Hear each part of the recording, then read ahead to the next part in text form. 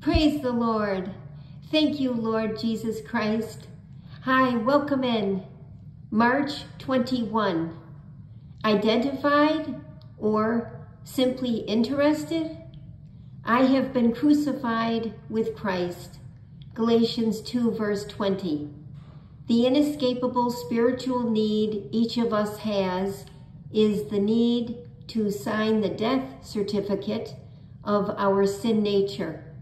I must take my emotional opinions and intellectual beliefs and be willing to turn them into a moral verdict against the nature of sin. That is, against any claim I have to my right to myself.